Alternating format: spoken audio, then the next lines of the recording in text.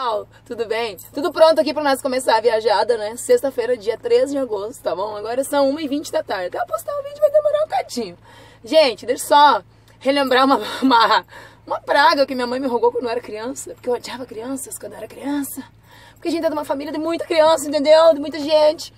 E a minha mãe dizia assim, quando eu brigava com meus irmãos. Você há de ter mais filhos que os seus braços possam carregar. Fio, eu nem vi. Quando eu vi, tinha três filhos no braço para criar, tá? Dois braços, três filhos. Bebês, todos juntos, né?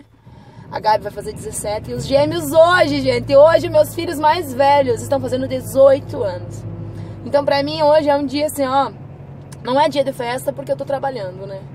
É, lá em casa também não vai ter festa porque o presente deles de 18 anos é habilitação e é um carro popular para eles passear, né? Que eu tô procurando aí no carro, né? Até o final do ano eu, eu compro. E, mas é comemoração de tudo que a gente passou e a gente sobreviveu.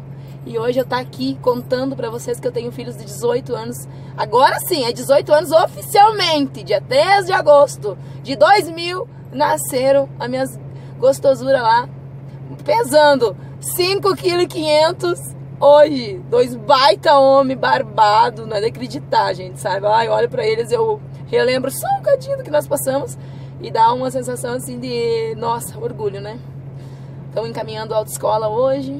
Estou muito feliz de poder dar esse presente para eles, assim como eu dei pro meu irmão, né, o Charles. Tô dando para eles e tudo que eu puder fazer para meus filhos e que Deus me abençoe e me dê saúde para trabalhar e juntar, eu tô sempre fazendo, sabe, gente? Então, galerinha, noteira na mão, vamos ligar o Rai, que não é Mercedão. chamava o coitadinho do Rai de Mercedão, que lindo da mamãe. Agora tá lá, foi embora, gurizinho nosso, foi embora. Então vamos abrir as cortinas, vamos botar claridade pra dentro dessa casa. Eu trouxe água. Vocês tomaram água? Tomaram? Muito líquido. Principalmente... Ah, aqui tá louco. Não dá nem pra olhar pra essa cama aqui. Muita bagunça!